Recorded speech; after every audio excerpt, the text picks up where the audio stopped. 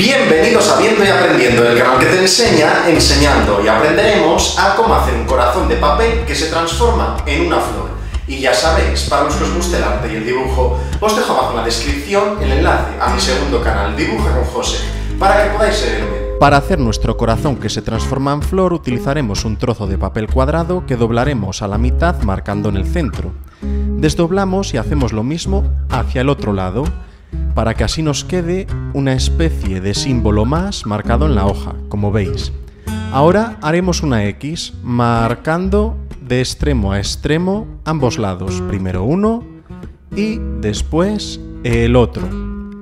Ahora, teniéndolo así, fijaros, lo ponemos recto y doblamos desde los lados hacia adentro y hacia abajo.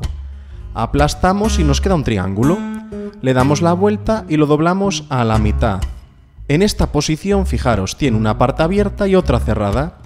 Desde la cerrada cortamos en forma de arco. Fijaros, tenemos que hacer un arco de un lado al otro. Si queréis que os quede mejor, lo podéis dibujar primero antes de recortarlo.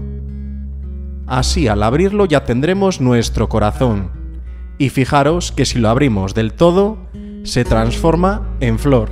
Así de sencillo es nuestro corazón transformable.